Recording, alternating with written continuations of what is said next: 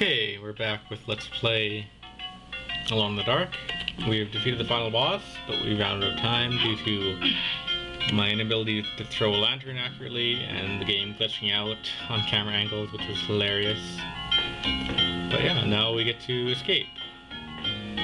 So when we kill that, I think his name is Deserto or Degrito. But yeah, when we kill him, um, all the monsters die. Hey, there's my shotgun. or rifle. So all the monsters die, which means particularly uh, the worm guy is not there anymore. So I think that means we can go... Oh, wait, I want it in a full circle. Okay, in here there's a path I haven't taken yet. I just gotta figure out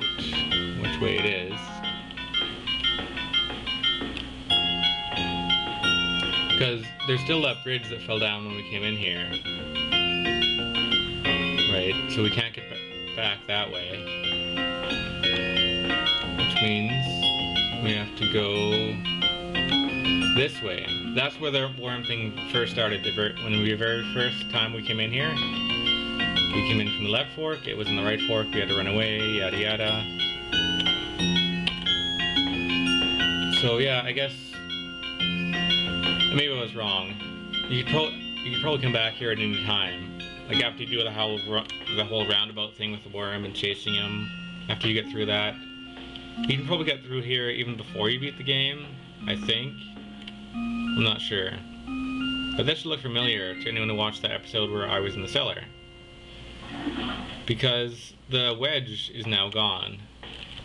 As are the rats and all enemies. At least I think it's I think at least I think it is. And notice our jump command is gone again, of course. Why would we be, why would we jump in a house? That's just crazy talk. And there's nothing left to do but leave the house. Well, at this point, you could wander aimlessly around the house and play with your gun and, and throw stuff around and read all those books that you that I didn't read. But there's nothing left to do. All the monsters are dead. Everything's gone. Even the zombies that were eating the soup are gone. The spiders are gone. We won the game. You are a winner. A winner. But yeah, all items are there basically. So, that should mean that the thing outside the front door is magically gone as well, right? Am I gonna die? Uh, I'm alive! I'm alive! Should I leave? I don't know. Should I stay? I'm taking all the stuff. I'm taking the gun with me. I don't care what you say.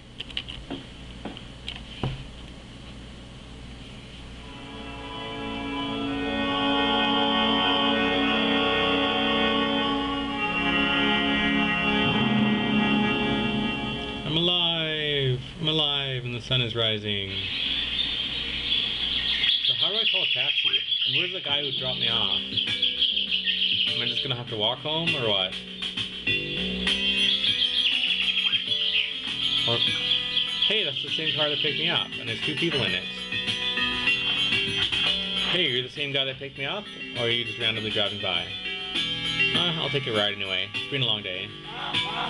Uh-oh. It's a zombie. Yeah, I guess in 1992 that classified as a, as a good ending, as a scary ending, or creepy. Yeah, 1992 was a, a good year. A good year. The end. Well, thanks for watching. Uh, uh, if you like old school poly Polygon games, I highly recommend it. Is very fun first day. Lots of good times. I think that's all the ending we get. I don't think anything else happens. We get a special ending song and lots of uh, birds. But that looks like everything. Yeah, it just takes us back to the menu. Okay, well, thanks for watching. I'll see you next time on my next series. Thanks for watching. See you later.